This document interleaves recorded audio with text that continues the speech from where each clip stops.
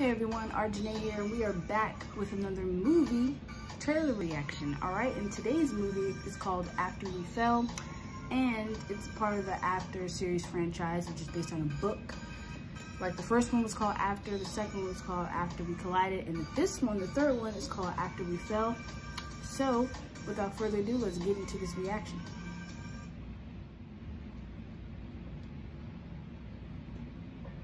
Oh, all right.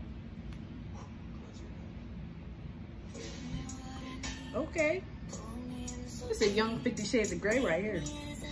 Just for teenagers. it's definitely Fifty Shades of Grey expired right here.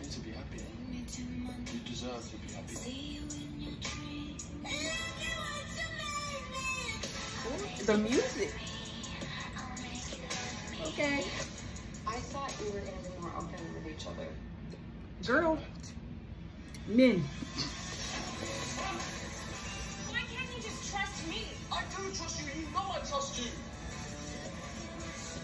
Well, You don't trust me. You don't trust anyone. You just control them.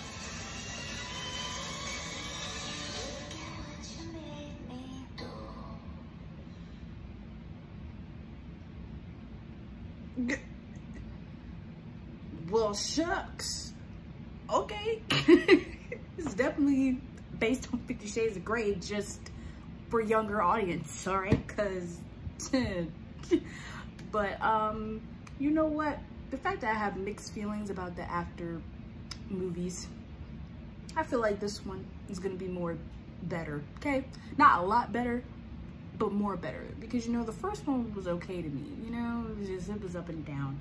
The second one I found more hilarious because it was just, it was just too much ridiculous shit happening in it. But, yeah, this one looks more, you know, more kind of deep. Look kind of more deep.